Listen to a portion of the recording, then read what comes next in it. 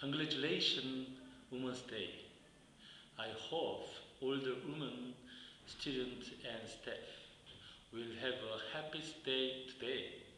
Also, I wish you all health and will have a lot of God's blessing in this year.